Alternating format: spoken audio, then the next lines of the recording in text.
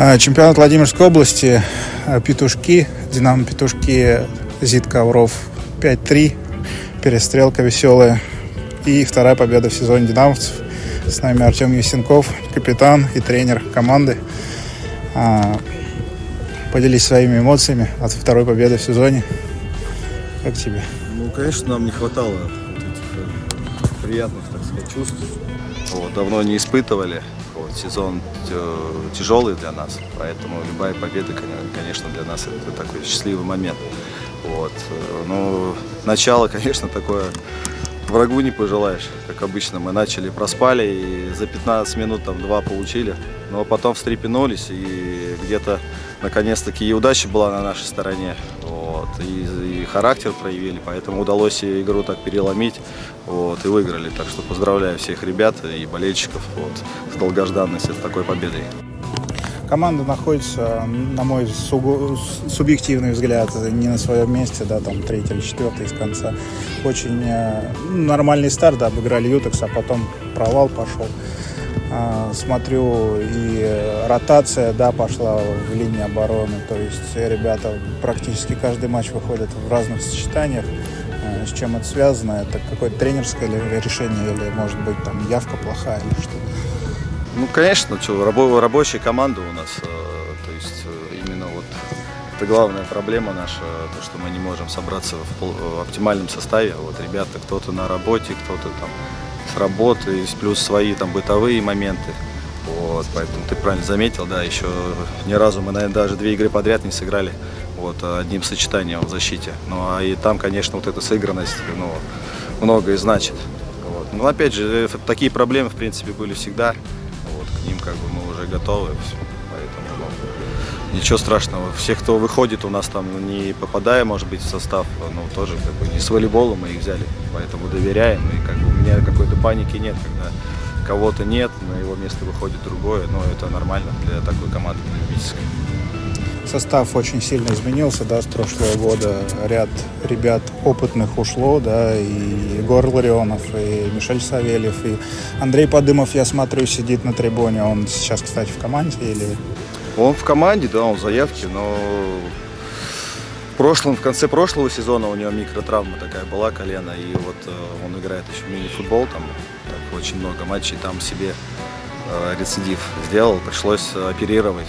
Вот, так что в этом сезоне, дай бог, конечно, если там концовку он э, зацепит. Вот. Ну, в, ка- в качестве зрителя почти на, на все домашние игры приезжает, так что Андрюхе тоже спасибо. Вот. Ну а насчет Мишеля и Егора, когда два таких игрока э, покидают, конечно, это сразу в качестве команды теряет. Вот, то, что, на мой взгляд, там Мишель вообще, там, наверное, лучший игрок у нас в чемпионате был. Вот, Егор один из лучших нападающих. И, ну, и бесследно такие э, потери не проходят. Вот. Ну, ребята так сделали свой выбор в пользу другой команды. И, как бы, им там только удачи могу пожелать. Как удалось восполнить пробел, да? Это молод- молодежь подтянули? Молодежь, ну, Игорь Пантелеев пришел у нас из Собинки. Вот, в принципе, как раз на место Егора.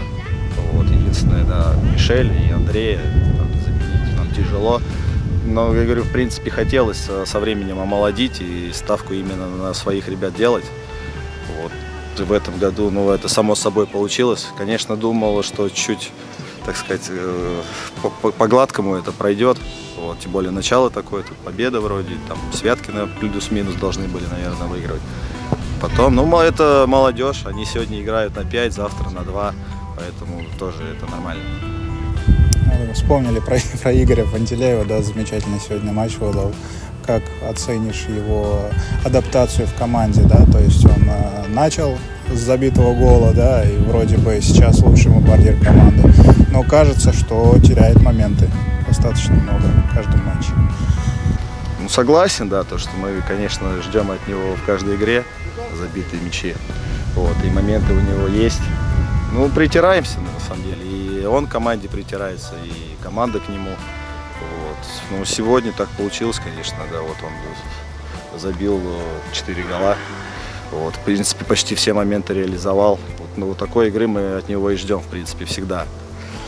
Вот. Ну, я говорю, обычная притирка, так что если бы он забивал, наверное, все голы, там, все моменты, я думаю, он бы где-то, наверное, в профессиональном футболе бы играл. А. А, мне пишут э, ребята комментарии, да, когда смотрят видео. И то, что бросается в глаза, комментарии неплохие. Ребята пишут, что Динамо-то играет хорошо, но вот что-то не хватает для реализации, там, для исключения ошибок каких-то в обороне. То есть чего-то не хватает для результата. Вот скажи мне, как тренер, ты в чем видишь вот, э, вот эту вот таблетку, да, э, от исцеления вот этих вот поражений ненужных, может быть, где-то? Ну, команда поменялась. Я говорю, для нашего команды, я говорю, 2-3 человека, когда там уходит. Ну, и плюс такие, которые делали результат. У нас, ну, что говорить, у нас была зависимость и от Мишеля, и от Егора была.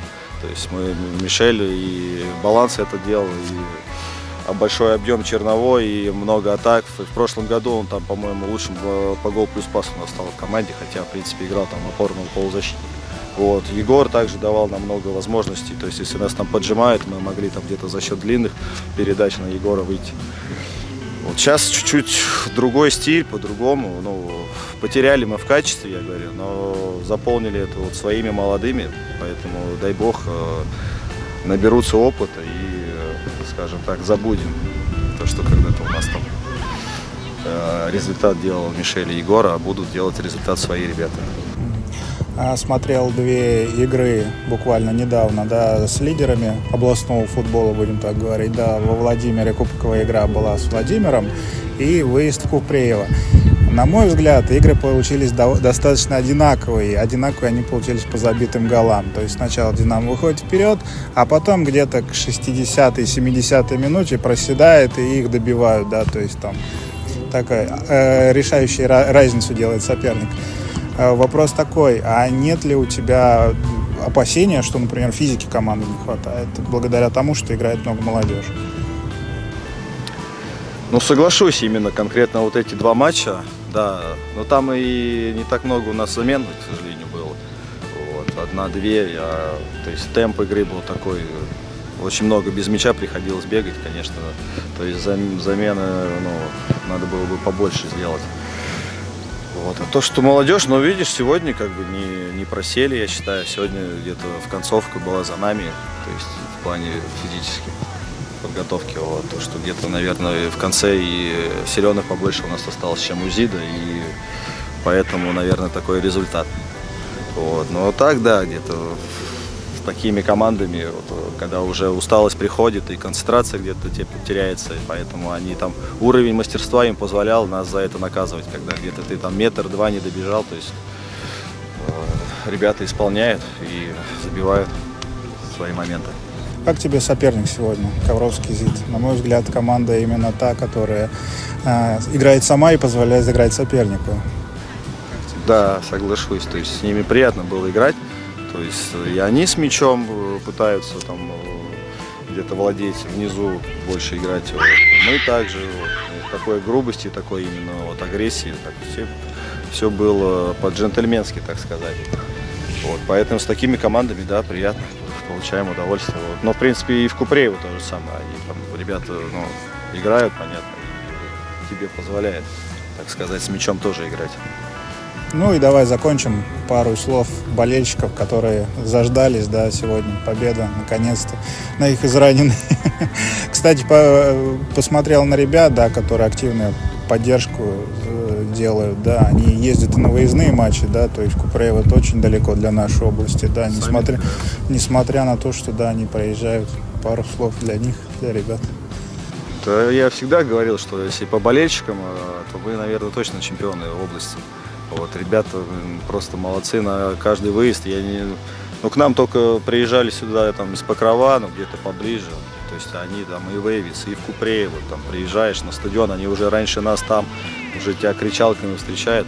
Конечно, очень приятно, вот, поэтому и хотелось там сегодня вот за это их терпение, так сказать, вознаградить. Вот, ждали они победы. И, там, я говорю, мы перед каждой игрой там с ребятами нам самим неудобно перед ними вот, когда мы проигрываем. И, конечно, спасибо им огромное. Вот. Мы чувствуем их поддержку, и она вот, ну, не дает нам расслабиться и сил, придает нам только сил. Вот. Всегда бьемся за них. Ну и еще раз в, этот, в этом году такой, надо будет запастись им терпением. Вот. Но руки мы никогда там опускать не будем. Всегда до конца будем биться за них. Спасибо, Артем, удачи.